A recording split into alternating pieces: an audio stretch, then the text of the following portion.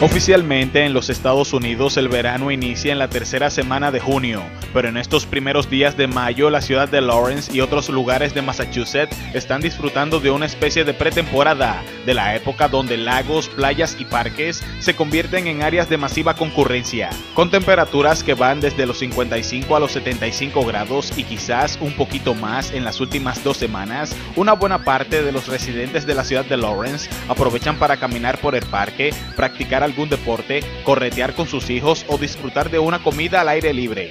Fútbol, softball, baloncesto y una buena carne a la parrilla son algunas de las actividades de moda en estos días. Claro está, salpicadas por el estilo peculiar de cada una de las culturas latinoamericanas establecidas en esta ciudad. Por ejemplo, México, Centro y Suramérica ya están celebrando partidos amistosos en el Parque O'Neill. Todo esto con miras a la temporada de verano que este año tendrá 10 equipos, una actividad que mueve a más de 300 personas cada fin de semana. El verano, usted sabe, el frío lo mantiene a uno cerrado por muchos meses.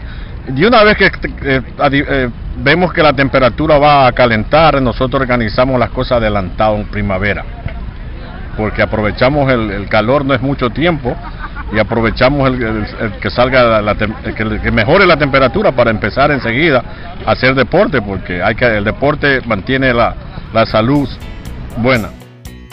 En Lawrence, una de las señales que mucha gente sigue para confirmar la llegada del verano es el sonido de las ruedas metálicas del carrito de refrigerios de Martín Piragua, quien no solo disfruta del verano como tal, sino que también esta época del año representa un sustento económico para su familia. A continuación escuchamos a Martín Piragua, cuyo verdadero nombre es Ramón Puello, un dominicano de San Carlos. El verano significa para mí vida, salud. Tú no ves que cuando en el invierno se caen las hojas y todo, se van los pájaros, todo el mundo se va. Desde que llega el verano, la mata florece, las flores se renace todo el mundo, se le van los dolores a la gente.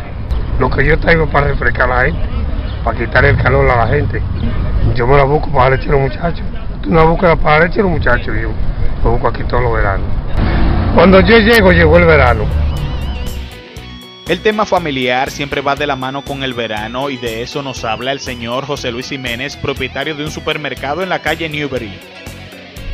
El verano es de las pocas cosas que uno ve aquí para poder recrear a sus hijos, llevarlo al parque, porque imagínate, eh, estos niños siempre en los apartamentos trancados, no tienen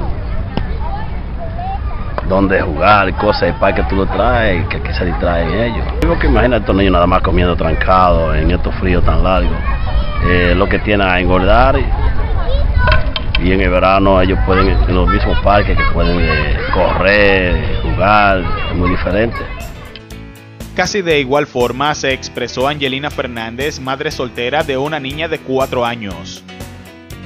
Está muy bien que venga el verano, que se adelante el verano, eso es lo que queremos, porque el invierno uno se la pasa aburrido en la casa, encerrado, no puede uno salir mucho, pero en verano sí hay más libertad para los niños, para uno mismo también, se divierte, uno va al lago, viene aquí al parque, la playa, hay mucha libertad en verano. Cucao. Cucao también, de todo. A la gente en Lawrence no le preocupa mucho si oficialmente el verano llegó o no llegó. La cuestión es que todos nos encontramos disfrutando de un calorcito adelantado en estos días.